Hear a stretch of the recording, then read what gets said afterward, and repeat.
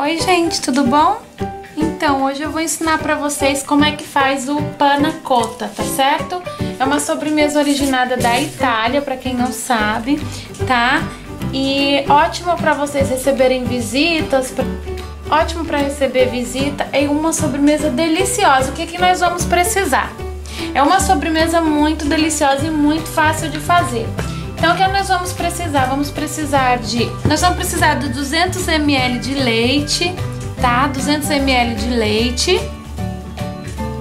Vamos precisar de uma caixinha de morango cortada, picados, moranguinho. É, aqui na minha cidade não tá em época de morango, então o que é que eu fiz? Eu apenas é, comprei o morango congelado, entendeu? Quando estava congelado, eu descongelei o morango e ele está aqui. É uma última, é uma boa dica para quem é, compra morango e, e, tem medo, né? Porque estraga rapidamente. Vocês vão precisar de uma gelatina de, sem sabor, tá? Creme de leite, essência de baunilha, mais ou menos assim um, um copo de água que a gente vai precisar, 250 gramas de açúcar e nessa jarra aqui tem água quente, tá? Então vamos começar. Aí você vai colocar duas colheres de sopa de água quente, assim, na gelatina sem sabor, tá? Vocês vão mexer.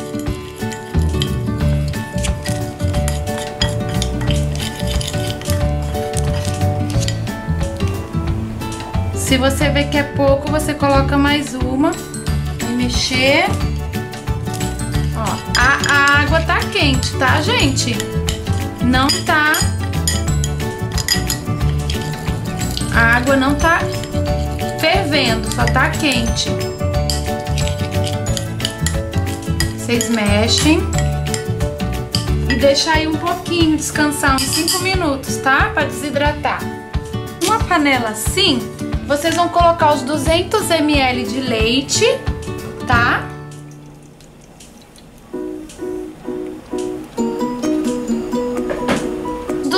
Duzentas gramas de creme de leite.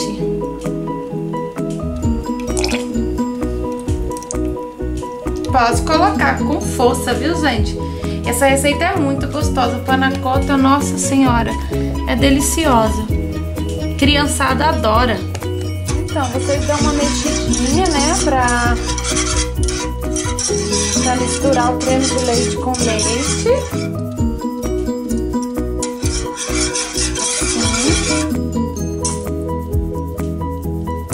E agora vocês vão colocar 50 gramas de açúcar. Vai mexer.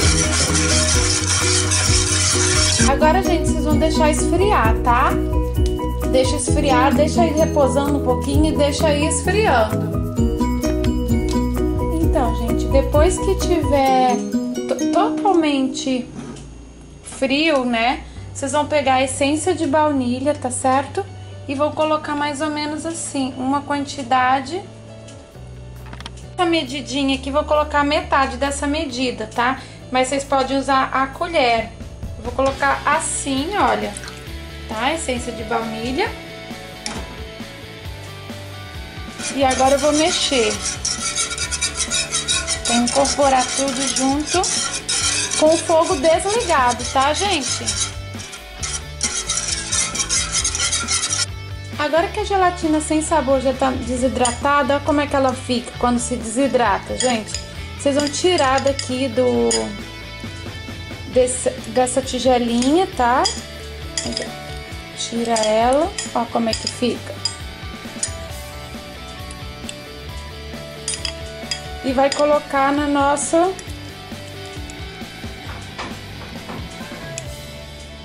Olha como é que fica. Fica como se fosse um, um plástico, algo assim, olha. Aí vai colocar aqui dentro, tá? E vai mexer aqui junto com essa massa até dissolver. Vocês mexem bem, gente, até dissolver completamente.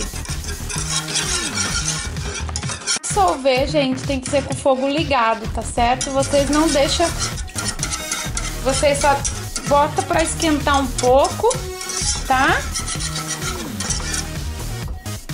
Para dissolver, mas não deixa ferver o esse essa mistura, viu? Você liga um pouco o fogo para poder dissolver, senão não vai dissolver por completo. Ó, como é que fica? Tem que dissolver. Dissolvendo, olha, tá vendo?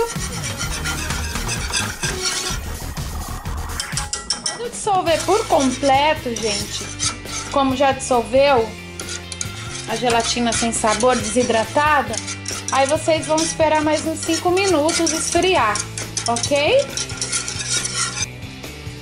Agora, pessoal, vocês vão pegar uma taça, assim, de preferência de vocês, bonitinha, se for receber visita, ou se você pre pre preferir desinformar, vocês colocam papel filme dentro para ter facilidade para desinformar.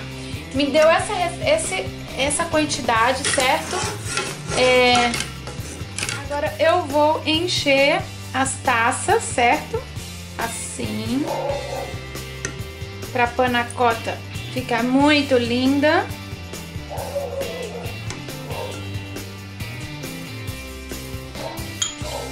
Se vocês quiserem fazer mais, é só dobrar a receita, tá bom?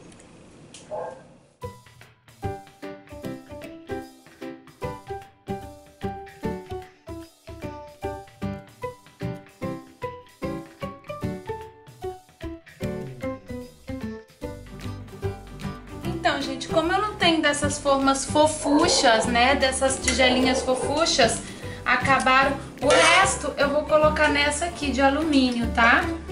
Pra não jogar fora, né? Não desperdiçar, vai ficar aqui.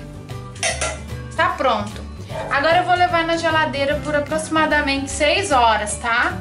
E vamos agora pra fazer a geleia. Agora vamos preparar a calda de morango.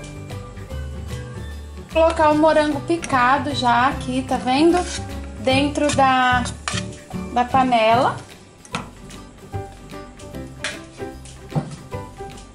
Vocês vão colocar meia xícara de açúcar e duas colheres de água. E agora, e agora é só mexer, tá, gente? Vocês vão mexendo em fogo baixo até que se solva os morangos e comece a ficar numa consistência assim, comece a engrossar, tá?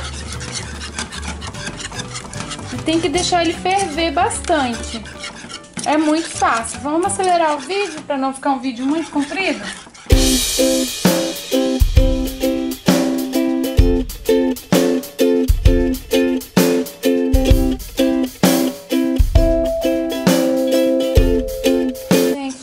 Passaram 5 minutos, tá um cheiro maravilhoso. Nossa, de geleia feita em casa, nada melhor. Então é o seguinte, ele ficou esses pedacinhos. Eu prefiro com pedacinhos, entendeu? Mas vocês têm a opção de assim que esfriar, vocês baterem no liquidificador para ficar só o caldo. Mas eu não vou fazer isso porque eu quero com pedaços. Eu vou esperar esfriar agora e depois eu vou colocar num recipiente para levar na geladeira e eu vou mostrar para vocês, tá? Então, gente, olha, eu coloquei aqui dentro desse vidro, tá certo? Morango, a geleia e agora vai pra geladeira. Geralmente é, é, guardo esses vidros, não jogo fora, sabe? Faço de recipiente pra guardar outras coisas que eu faço aqui em casa. Então, uma boa dica aí pra vocês, guardarem, não jogarem fora, né? Sustentabilidade, vocês vão estar... Tá ajudando aí a nossa, nosso planeta, nossa natureza. E olha aí, ó. Agora vai pra geladeira e eu vou deixar lá na geladeira e amanhã quando tiver pronto o panacota eu volto pra vocês verem. Então, gente, a sobremesa ficou assim, tá? É, eu coloquei o, o morango em cima da panacota, tá certo? Mas vocês têm a opção de desinformar, desinformar e colocar o morango e, colo e colocar o morango em cima da de quando você colocar desenformar, mas eu achei bonitinho aqui nessa taça e eu coloquei, olha só, um uma folhinha de hortelã em cima. Ficou muito lindo. Agora eu vou comer e espero que vocês tenham gostado. Não esqueça de avaliar o vídeo para me ajudar na divulgação e vejo vocês no próximo vídeo com uma próxima receita.